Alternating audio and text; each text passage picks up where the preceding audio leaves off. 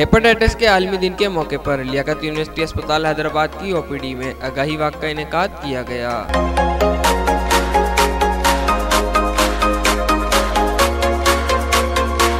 Walk की क्यादत Liaquat university अस्पताल हैदराबाद और जामशोरों के medical superintendent doctor Mohammad Siddiq मोड़ कर रहे थे।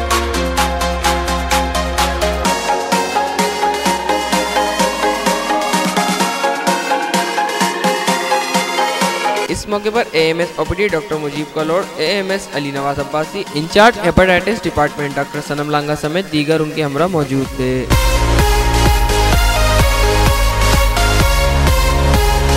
मौके पर लियाकत यूनिवर्सिटी अस्पताल हैदराबाद और जामशोरों के medical superintendent doctor Mohammad Siddiq पौड़ ने कहा कि आज हेपेटाइटिस का आलमी दिन मनाया जा रहा है और आवाम को चाहिए कि अताई डॉक्टर के पास जाने से गुरेज करें। सिविल अस्पताल समेत सिंध भर में जहाँ जहाँ हेपेटाइटिस के इलाज के लिए मराकज कायम है, वहाँ से इलाज मुआवजे की सहूलियात हासिल करें। उन्होंने कहा कि हेपेटाइटिस का मर्ज एहतियाती तदबीर इख्तियार न करने की वजह से तेज़ी से फैल रहा है, जिसके लिए माशरे में आगाही की ज़रूरत है। मैं डॉक्टर मोहम्मद सिद्दीक पौड़, medical superintendent university hospital, Hyderabad. आज हम हेपेटाइटिस वर्ल्ड डे जो है वो मना रहे हैं। ये हर साल 28 जुलाई को मनाया जाता है। इसमें हम ये मैसेज देंगे आवाम नास को की आप बरए मेहरबानी, अतई डॉक्टर उनके पास न जाए। कोई बीमारी हो जाती है, कोई प्रॉब्लम हो जाती है तो आप जो हमारे रजिस्टर्ड डॉक्टर है, उनके पास जाएँ।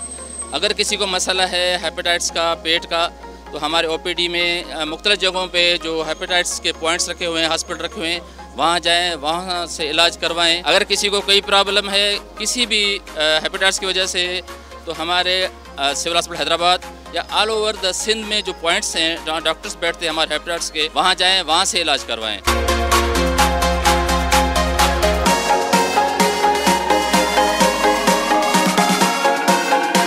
इस मौके पर एएमएस ओपीडी डॉक्टर मुजीब कलवर्ट और incharge hepatitis department doctor Sanam Langa का कहना था कि मेरा नाम डॉक्टर मुजीब है।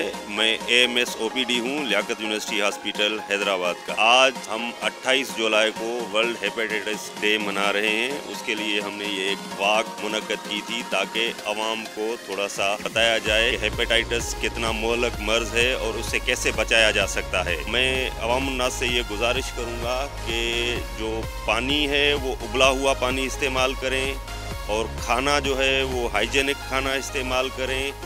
और अताई डॉक्टर से जो syringe use reuse syringe का जो मसला होता है, उससे एहतियात करें। और हेपेटाइटिस प्रोग्राम, जैसे एम साहब ने बताया, हमारे पूरे सिंध में चीफ मिनिस्टर हेपेटाइटिस प्रोग्राम चल रहा है। वहाँ पे आप हेपेटाइटिस की टेस्ट भी फ्री में करवा सकते हैं। हमारे यहाँ भी लियाकत यूनिवर्सिटी हॉस्पिटल हैदराबाद में भी सब टेस्ट फ्री में होते हैं। हमारे यहाँ लियाकत यूनिवर्सिटी हॉस्पिटल हैदराबाद में पीसीआर, हेपेटाइटिस बी, सी और हेपेटाइटिस डी पीसीआर भी बिल्कुल फ्री में होती है। जिनको भी अगर कोई ऐसा कोई मसाला हो तो हमारी ओपीडी में आए। हेपेटाइटिस के मरीजों को दवाई भी फ्री में मिलती है और टेस्ट वगैरह सब चीज़ें फ्री में होती हैं। बस आवाम से ये गुजारिश होगी कि हाइजेनिक खाना इस्तेमाल करें और अपना एहतियात करें, अपने सेहत का ख्याल रखें। मेरा नाम डॉक्टर सनम है और मैं हेपेटाइटिस ओपीडी में काम करती हूँ। आज हम ये 28 जुलाई पे वर्ल्ड हेपेटाइटिस डे मना रहे हैं और इसका यही मकसद है कि हम लोगों में एक अवेयरनेस शाऊर पैदा करें कि किस तरह से हेपेटाइटिस फैलता है।